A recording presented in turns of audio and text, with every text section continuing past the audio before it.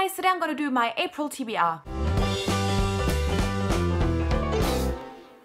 So my April plans are a little bit boring, I gotta say, but I just need to get this shit done. So I'm doing another TBR just so that I can hold myself accountable, which obviously doesn't always work, but April should be a month where I should read. Not a lot, but like definitely should be way more successful than March. And I do think that I can get done with this whole TBR in April. So I'm doing this so that I can hold myself accountable, so that I can watch this back and be like, this is what you wanted to read, do it. So first of all, I want to finish Obsidio by Amie Kaufman and Jay Kristoff.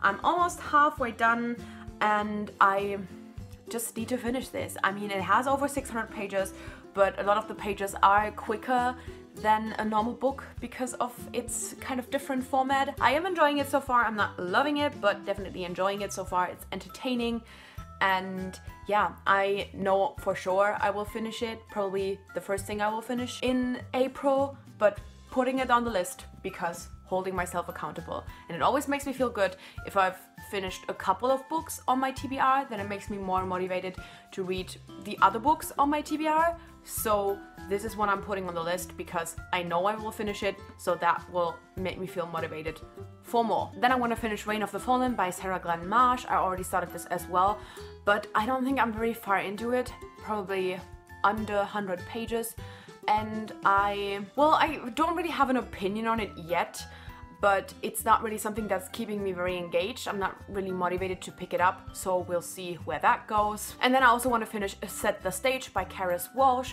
another book that I have already started. I think I might be like 15% into it, and this is kind of a short book so I'm also sure I can finish this and this is actually an arc that I got from NetGalley months ago that I just finally need to read. Then once again I have the three arcs that come out in May that I sadly did not manage to read in March.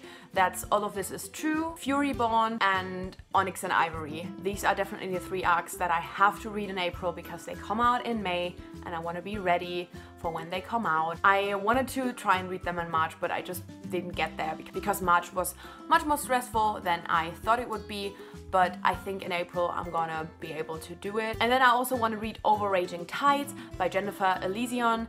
This is also an arc that I got just like a day before release so it's not an arc that I have to get ready before a certain release date but I definitely want to get to it as soon as possible so it's not another one that's just kind of you know hanging around until I'm ready to read it, like set the stage. The series is actually called Lady Pirates, which is all that I needed to know for me to want to read this book. It's about a female pirate crew. I am fucking excited because pirates and lady pirates, even better. Perfect. I I'm excited. And while we're at the topic of lady pirates, I hope to read The Unbinding of Mary Reade by Miriam McNamara. Is that the author's name? Ugh, I'm not sure. This is a book that I've been highly, highly anticipating and it comes out in June. So, you know, I want to get to it because I, you know, actually want to read it early because I've been so excited about it and still haven't read it even though I've now been owning it for a couple of weeks. So that's apparently how this goes. But yeah, I'm super excited about this one and cannot wait because it's pirates, it's lady pirates, it's female, female romance lady pirates. Whew. Yes, but it's like lower priority because it only comes out in June. That's probably gonna end up being the book that I read first, just because I just said that. Mm. Anyway, these are my kind of boring plans for April. A lot of these books you have already heard me talk about, but as I said, I just need to hold myself accountable, and this is just what we're gonna do. And hopefully in April, I will have read all of these. Like, this is holding myself accountable. This is a strict TBR.